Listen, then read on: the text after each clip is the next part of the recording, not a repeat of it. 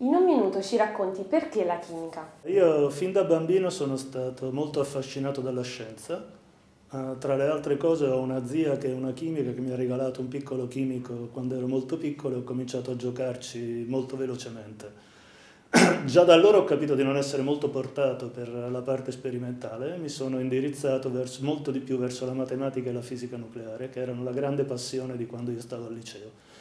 Uh, alla fine però ho deciso di fare gli esami alla scuola normale, siccome venivo dal liceo classico non ero molto eh, preparato più che portato per la matematica e la fisica, ho deciso di provare a fare l'esame d'ingresso in chimica.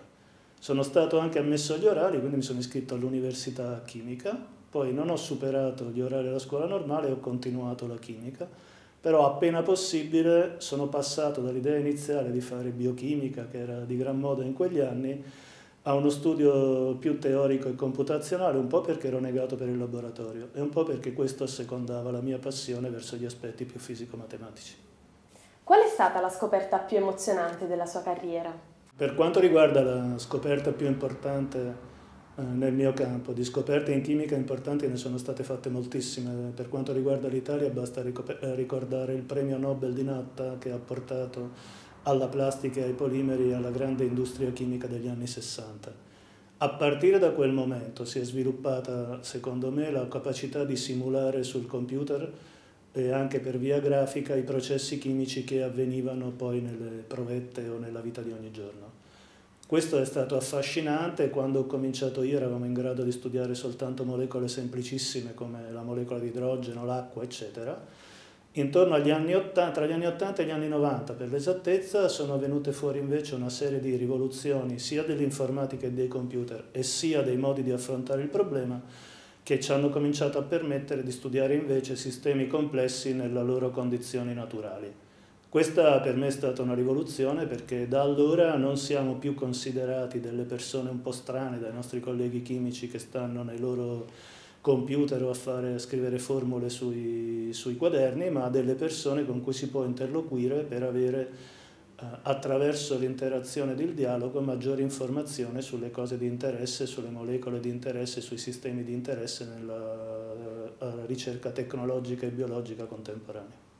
A questo punto cosa sogna di scoprire nei prossimi anni? Eh, credo che la prossima rivoluzione che segnerà non solo la chimica teorica e computazionale o la chimica, ma tutte le scienze, sarà legata da un lato al cosiddetto problema dei big data, che significa passare da una quantità di informazione mostruosa ma indifferenziata quale quella che abbiamo oggi,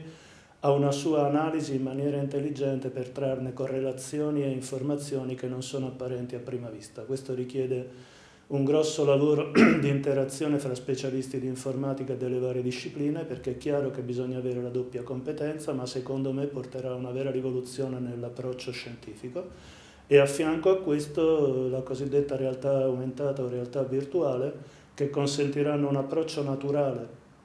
con tutte le problematiche scientifiche in cui non ci sia un'interazione in diretta con strumenti quali tastiere, mouse, eh, quaderni, penne, eccetera, ma permetterà invece di muoversi in maniera naturale in mondi che non sono quelli che noi conosciamo e che cadono sotto i nostri sensi. Per esempio potremo muoverci all'interno delle molecole da un lato o delle galassie per parlare di una cosa che non riguarda direttamente noi, come se fossimo nella nostra vita reale. Questo ha delle implicazioni evidenti perché l'interazione del nostro cervello con la realtà naturale è molto maggiore e molto più diretta di quella che richiede un intermediario matematico, fisico-matematico indiretto. Questo secondo me porterà a un'altra rivoluzione.